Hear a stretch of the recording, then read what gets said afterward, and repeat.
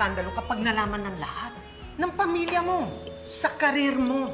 Nakita niyo po ba si uh, Doktora Santos? Hindi ko pa po siya nakikita. But, I do know meron po kaming farewell party for her later. You're nothing. Para bigyan ng tribute sa pag-alis mo. Ako po kasi... Lynette, bakit mo pinagre-resign si Annalyn? Bakit gusto mo siya ilayo? Huwag mo nang kuluyin ang buhay namin ni Annalyn. Please, nakikiusap ako sa iyo. Nay, Meron kang kailangan malaman. Sinasabi lang niya sa akin kung gaano ka kanya kamahal. Huwag na po kayo ma-stress, Nay. Okay na po sa akin. Mag-resign po ako.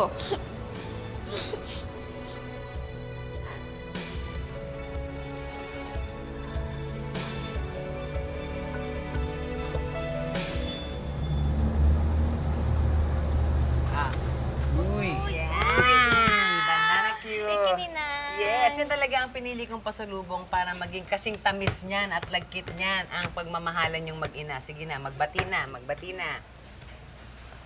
Mare, magkabati na kami ni Annalyn, no?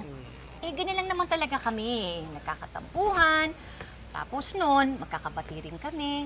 Ganun lang yun, normal lang yun sa amin, di anak? Kasi sa ending, kami pa rin dalawang magkasama, di? Gabi Dubs, parang nakahinang yung banana ko dito sa... O, ayan, hawakan mo.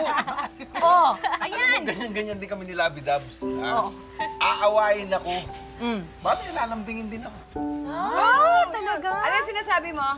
Ang kapal, oh, ang kapal. Never akong naunang bumati sa'yo dahil lagi ka talagang may kasalanan. Mm, ako tama. Alam niyo, mali yata ng dinigang universe sa akin. Parati kong dinadasal Mm. na ang ibigay sa akin yung tamang babae. Yo. Oh, eh bakit? Eh tama naman yun ang pangasawa mo, ah. Eh, ang ibinigay sa akin yung babaeng parating tama. Ayan, oh. Ano yung sinas- may mga sinasabi ka? Uy, Abga! Masyado kang matampu eh. Bango ng deodorant mo. ah. Bago yan. Ito, makaano, tampo match, ha? Ay, ay, excuse me lang po ah. Ano naman ito? Sisira yung forma ko sa iyo eh. Hello, Doc Yula. Ay, talaga? O sige, game. O sige, see you. Mm, anak, sino yan? Nay, tuloy na daw po yung pa-farewell party po nila para sa akin. Invited daw po tayong lahat. Yan, may party! As in, lahat ta- kami kasama? Opo. Sana all. Ah, mag-ayos na po ako ah. Sige po. Sige na. Tito Comel, yung may banana kiss ano. Sensya ka na, laging gutom yan eh. Isama daw Sige tayo. po. Galing. Eh, Lynette, ano na naman yan? At tahimik ka na naman.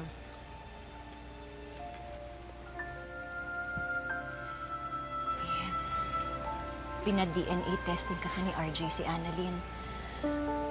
Alam na niya na anak na si Annalyn. Eh ano, hindi niya ba sinabi kay Annalyn na siya yung tatay? Hindi. Eh, kasi nakiusap ako sa kanya. Eh, sabi ko, magugulo kami. Pati pamilya niya madadamay. Eh, siguro, kapag isip-isip niya na tama ako. Ibig sabihin mo, nakiusap ka lang eh. Okay na agad sa kanya. Agad-agad. Hindi ba siya humingi ng kapalit sa'yo?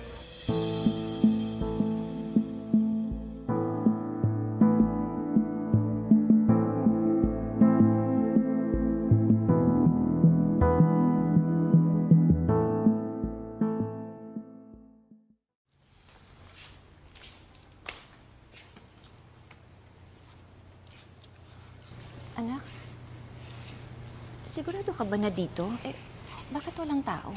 Hindi ba napaaga tayo ng dating? Ayaw niyo yun, walang tao. Solo natin yung pagkain. Baka yun yung buffet.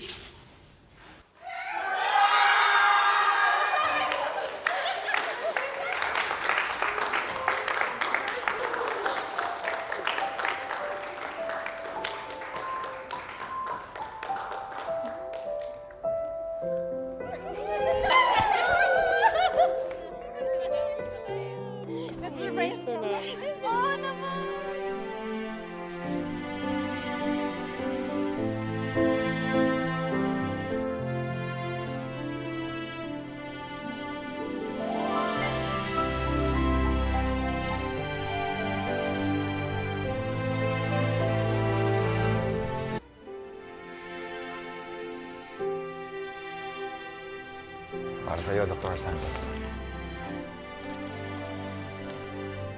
Salamat po, Dok.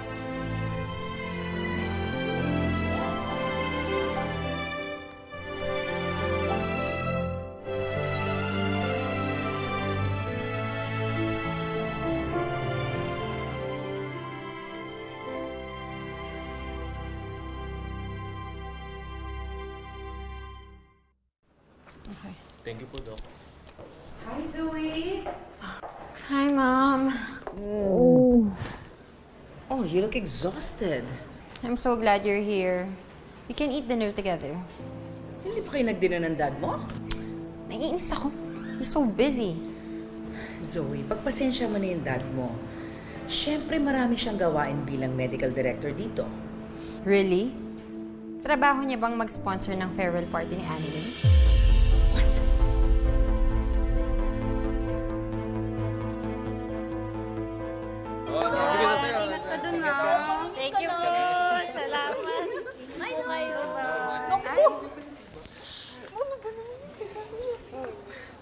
Alam niyo, grabe talaga tong prepare niyo. Sobrang nakaka-overwhelm. Kaba, wala yun. Mamimiss ko kayo. Sus! Kung mamimiss mo kami, bakit aalis ka? Oo nga. Di ba? Siyempre, ayoko naman umalis, no? Tsaka, sa Apex na rin talaga ako lumaki bilang doktor. Alam nyo, parang pamilya na din talaga kayo sa akin eh. Kayo lang din talaga yung nakita ko bilang ako, bilang doktor, hindi lang yung para sa edad ko, kaya... Huwag kayo umiyak! Ano ba?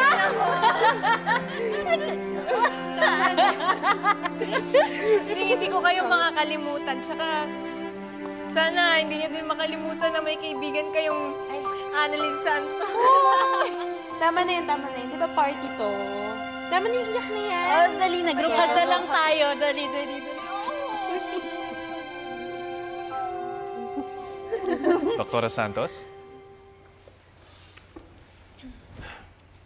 I just want to say sorry kung ano man ang nagawa kong mali.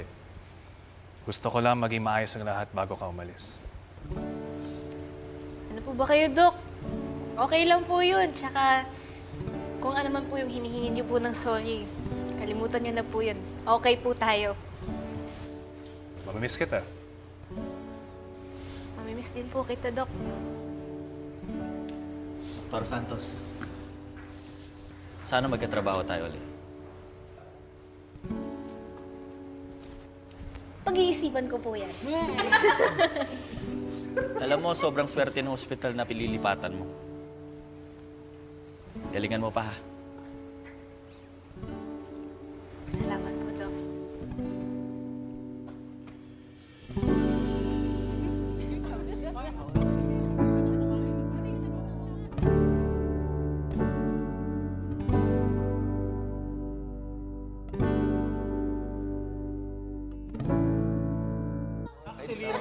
Kumain na tayo. Halika, nagtatawa ka. Dami nangyayari na ako. Nag-iiyak ka, iiyak ako.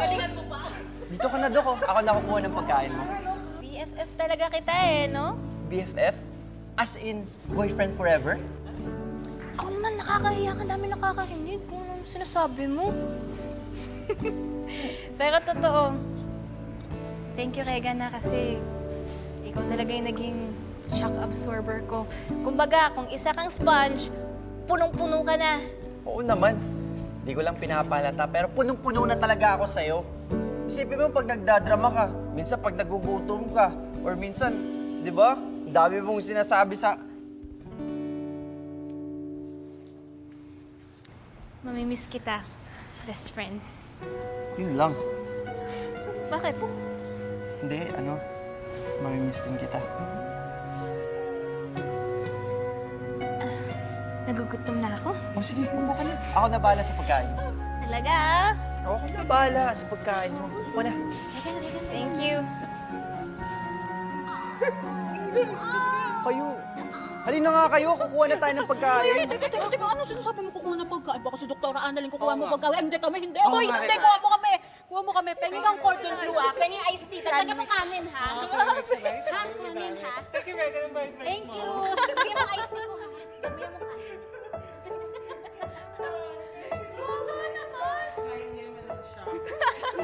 ano yung ano, fish fillet? Salamat. Dali, dun ka. Ganda ng rice. Galing ako ah. Galing ako kung ano. Ay, tuwa ka.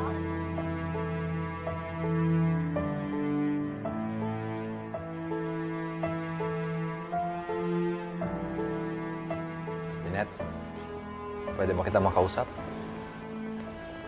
Ano pa bang pag-uusapan natin? Hindi na ako magpapaligoy-ligoy pa. Papayag na ako na hindi sabihin kay Annalyn na ako ang totoong tatay niya. Pero, Sandali. Papayag ka, pero may pero. pero hindi mo na siya pipilitin na mag-resign sa Apex. At hindi mo na siya ilayo sa akin.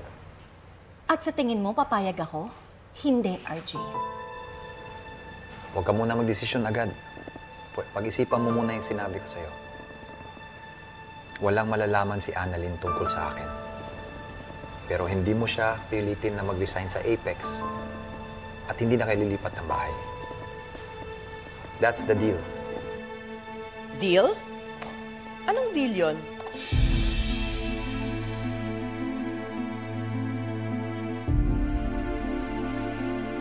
Robert, anong deal yung narinig kong sinasabi mo kay Lynette? It's about the residency of Dr. Santos. Kaya pag-isipan mo mabuti ni si Santos ang deal na sinabi ko sa'yo. And remember, this deal is confidential according to the rules and regulations of the hospital. Kaya hindi mo pwedeng sabihin kahit kanino ang deal natin as per the instructions of the medical director. Opo, Doc.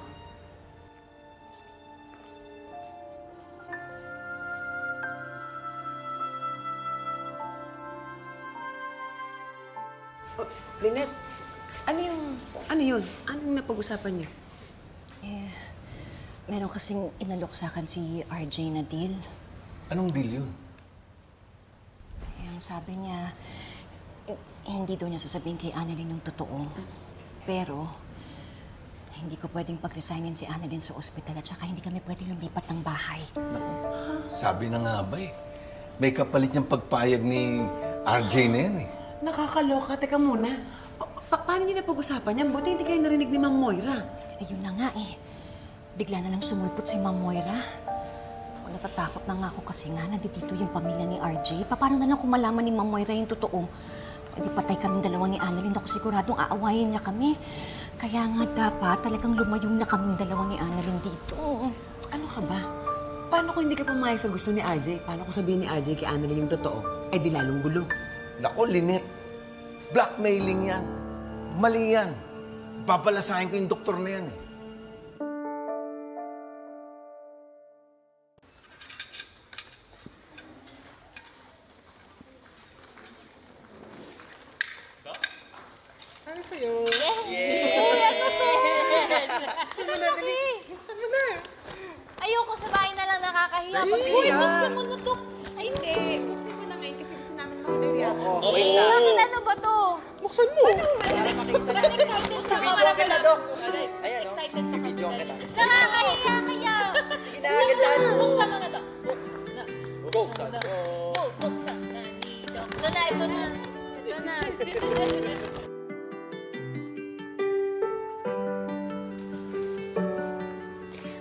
Naman ito. Nagabala pa talaga kayo. Ang mahal nito ah. Kanino? Eto, big card dito.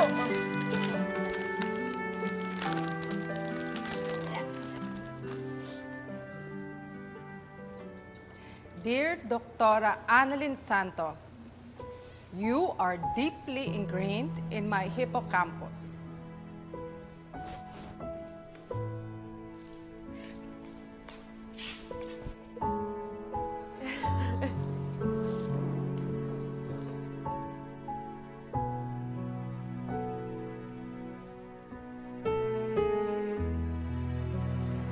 Name again, Iha? Annalyn Santos po. Ah, ang pinakabatang doktor. Hindi pwede malambot dito. You are no longer in med school. Wala nang prof na sasambot sa'yo. You are on your own. Meron pong appendicitis po yung pasyente, hindi po AUB. Prepare the OR. We have a stat appendectomy. Stop, you are drunk. This residency program was never meant for the weak-minded nor the faint of heart. So, kung hindi buo ang loob mo, tama yan. Mas mabuti pa nga mag-quit ka na. Today, you will be my shadow. You go where I go. So, listen well and learn fast. Talaga po? Bakit? Ayaw mo? Hindi po, gusto ko po.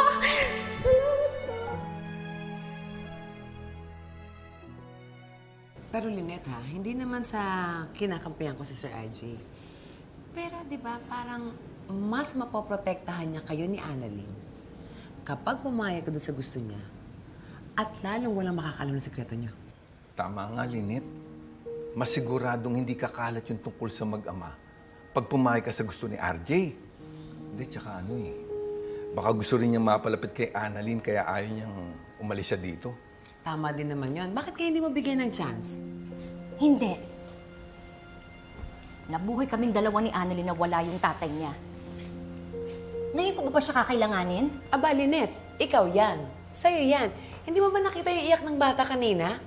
Kung gaano niya mamimiss yung mga kasama niya sa ospital at napamahal na rin siya doon sa mga taong yon. At sa palagay mo ba, hindi kasama si RJ sa mamimiss ni Annalyn?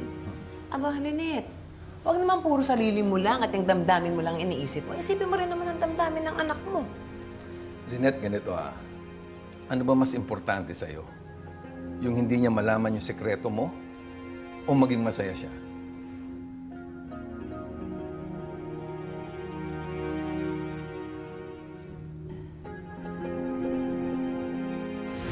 Nagustuhan mo ba? Cry baby ka pa rin? Naku, Doc, pinapiyak niya na naman si Annalyn. Bakit kasi aalis ka pa? Ayaw mo ba sa amin? Hindi po, Dok. Alam mo naman pong napamahal na po ako sa Apex, di ba? Ayoko po kayong iwan. Kaya lang po. You don't have to explain. You are a good daughter. That makes you a good doctor. Mamimiss ka namin. Mamimiss kita. Wala na kaming baby. Ay, ayaw mo nga pala tinitawag kang baby. Saan ka pa lilipat? I can, I can give a recommendation letter. Sa isang provincial hospital po, Dok. Tsaka, Dok, okay lang po tawagin niyo akong baby. Basta po ikaw. Kahit saang ospital ka pa pumunta, always remember, Rule 1. Bawal punta nga. Rule 2. Bawal bida-bida. Rule 3. Bawal mabagal. Rule 4. Bawal magreklamo. And Rule 5. Bawal po kami mamatayan, kundi patay po kami sa inyo.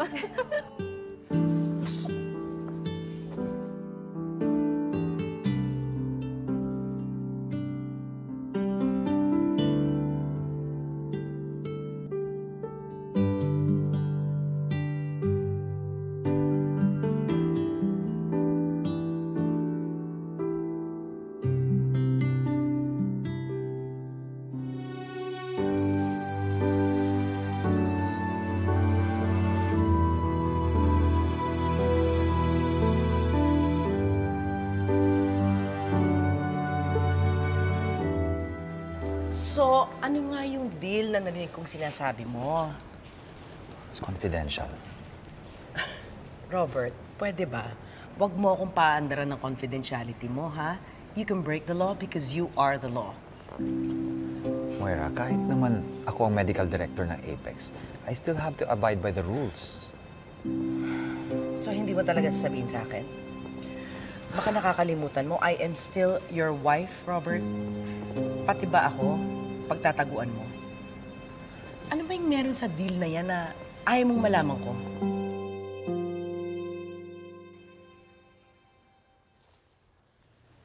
Dr. Santos, buti naman tuloy na yung pag-alis mo. Zoe? What? I mean, good luck sa lilipatan mong hospital.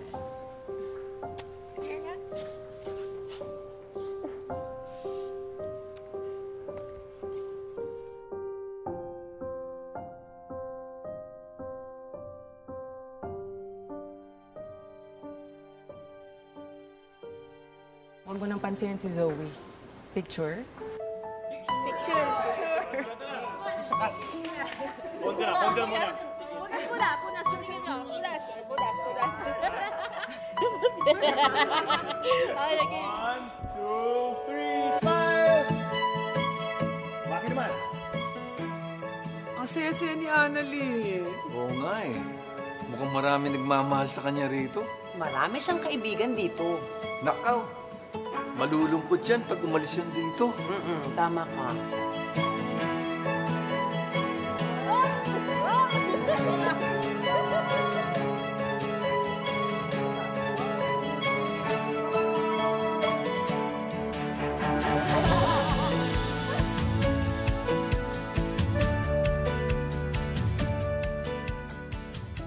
Believe me, Moira. Gusto ko sabihin sa'yo, pero hindi talaga pwede dahil ako ang mapapahamak. And don't you dare na kulitin ang nanay ni Annalyn. You better be telling the truth this time, Robert.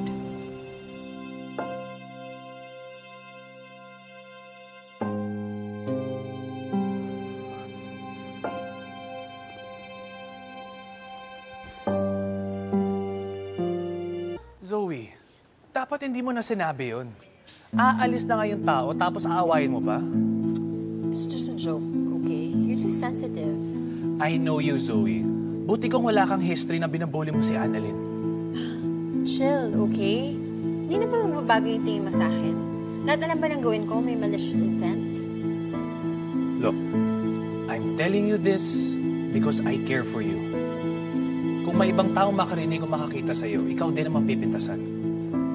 You care for me? Or you care for Annalyn?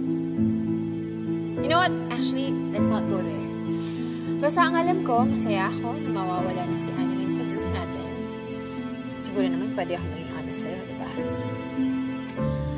Masasolo ko na yung symposium for neurocritical care now that Annalyn is out.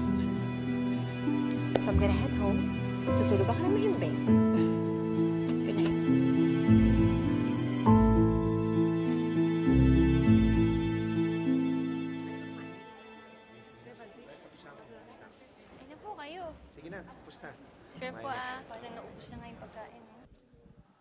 May I have your attention, please? I'd just like to say a few words.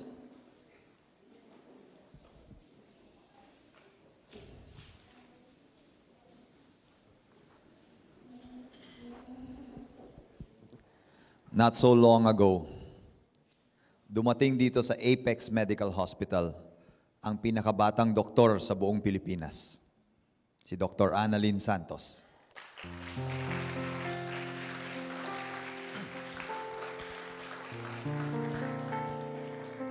And aaminin ko, isa ako sa hindi naniniwala na magtatagal siya. Mula nung siya ay dumating, ay marami talagang nangyari na sumubok, hindi lang sa kanya, kundi pati sa atin na nasa paligid niya. Maraming nangyari na sumubok hindi lang sa pagiging magaling natin na doktor, kundi pati sa pagiging mabuti nating tao. At lahat yun, nalampasan natin dahil kay Dr. Annalyn Santos. Dr. Annalyn Santos, pwede ba tumayo ka and please join me here on stage?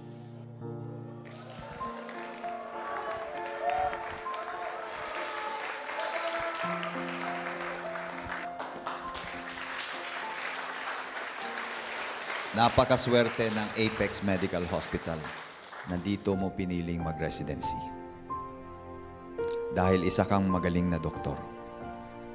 At higit pa dyan, isa kang mabuting tao at mabait na anak.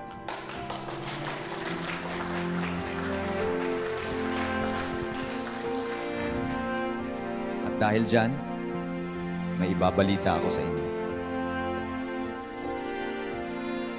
Kinausap ako ng nanay ni Dr. Santos at sinabi niya na hindi na siya alis dito sa Apex. Talaga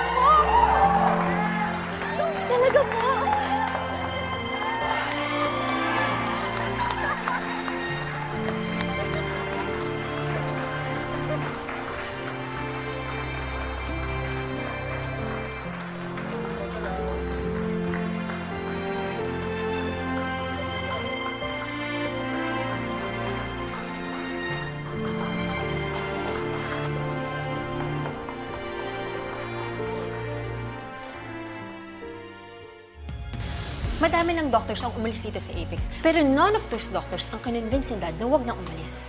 Si Annalyn lang. Tapos, kinausap pa yung nanay niya. Bakit? Ano ba meron sa nanay niya? Di kaya nagkaselos ang si Zoe kasi close kayo ng daddy niya. Boy.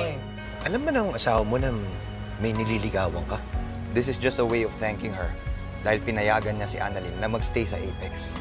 Ikaw ba nagtanggal ng pangalan ko sa listahan ng participant sa symposium? Kung wala yung pangalan mo dyan, ibig sabihin hindi ka kasali. Actually, si Dr. Santos ang first choice to represent our department.